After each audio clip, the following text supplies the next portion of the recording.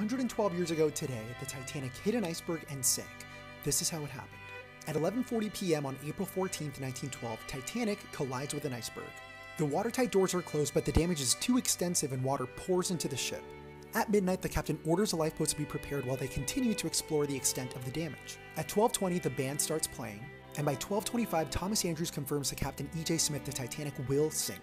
Shortly after, passengers are ordered into lifeboats, and at 12:40, an hour after collision, Lifeboat 7 becomes the first to be launched carrying only half its capacity. And many of these early lifeboats are launched half full because passengers are hesitant, they don't believe Titanic will sink. At 12:47, the first distress rockets are fired, and by 1:15, the water's up to Titanic's nameplate and the list is becoming much more noticeable. By 1:30, there's the first signs of panic as people realize there aren't enough lifeboats for everybody and the ship is sinking quickly. At 2:05, the last lifeboat is launched with 1,500 people still on board the Titanic.